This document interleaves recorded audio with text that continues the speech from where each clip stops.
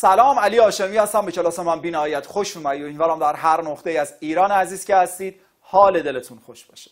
در این ویدیو کوتاه آموزشی قرار بریم دو تا سوال خیلی خوب از مبحث ریشهگیری در ریاضی نهم فصل 4 رو بررسی کنیم. قبل از شروع دوست من 17 امین ویدیو هست. امیدوارم که 16 تا قبلی رو تماشا کرده باشید. سوال اول گفته اگر آی به علاوه بزرگتر از صفر باشه در ضمن حاصل این عبارت هم مساوی باشه با آی به علاوه به توان ام انوم ام و n هم نسبت به هم اول باشن. بفرمایید که n به روی m برابر با کدام گزینه خواهد چی کارش کنم اینو؟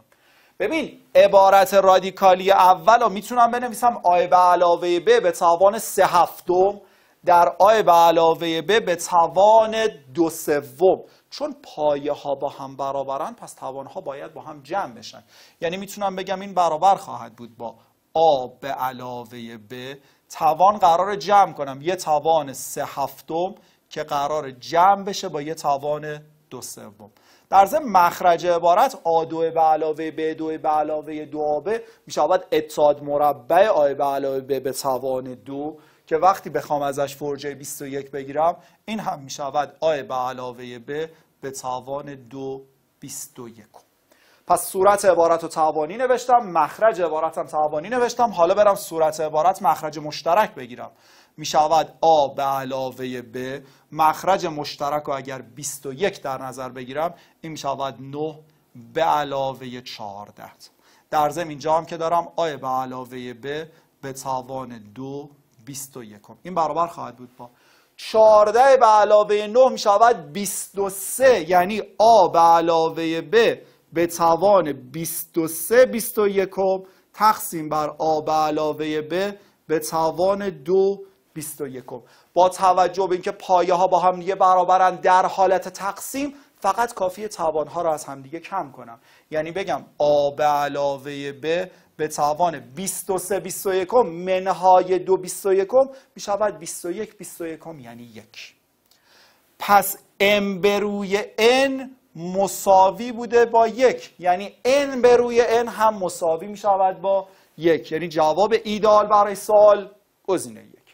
سوال بعدی گفته آ مساوی با این عبارت ب هم برابر باشه با آ به توان منهای یک شیشم آ تقسیم بر ب چی میشه؟ آ تقسیم بر ب برابر خواهد بود. با به جای آ چی بنویسم؟ آ به توان سه چهارم که قرار ضرب بشه در آ به توان یک دوازدهم. درسته؟ آب توان سه چهارم در آب توان یک دوازدهم. مخرج عبارت هم که بوده آب توان منهای یک شیشم صورت برم سراغ بازی مخرج مشترک. مخرج مشترک رو بگیرم دوازده. چون این قرار در سه ضرب بشه صورت هم باید در سه ضرب بشه. یعنی نه. به علاوه یک اینجا هم آب توان منهای یک شیشم نه به علاوه یک بشود ده. پس آب توان ده. دوازدهم. اینجا هم آب توان منهای یک شیشم بیام توان منفی از مخرج ببرم توی صورت. این برابر می شود با آب توان ده دوازدهم. ضرب در آب توان یک شیشم یک شیشم هم که می‌تونم بنویسم؟ دو دوازدهم.